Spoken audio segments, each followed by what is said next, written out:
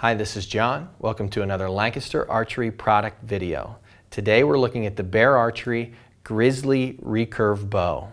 The Grizzly name first appeared uh, from Bear Archery in 1949 and that bow has taken many shapes and, and distinct turns um, in design along the way. The current version of the Bear Grizzly is this 58 inch recurve bow. This bow has a, a rich brown Dymondwood riser and uh, uh, typical uh, bear archery black glass on the back and belly of the limbs. Uh, it's got a really distinct bear grip, feels like most of the bear archery grips you've put your hand into. Uh, it does have a bear hair rest, which is the bear hair shelf, which and the adhesive leather uh, side plate.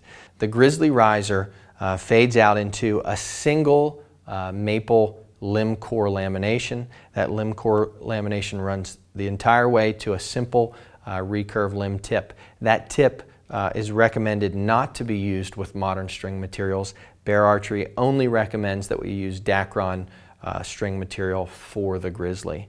It's got black uh, glass on the back and on the belly, and if we look on the off side of the riser, you have the distinct Bear Archery emblem coin, as well as the accessory holes, which are quarter 20 drilled bushings that will accept side mount quivers.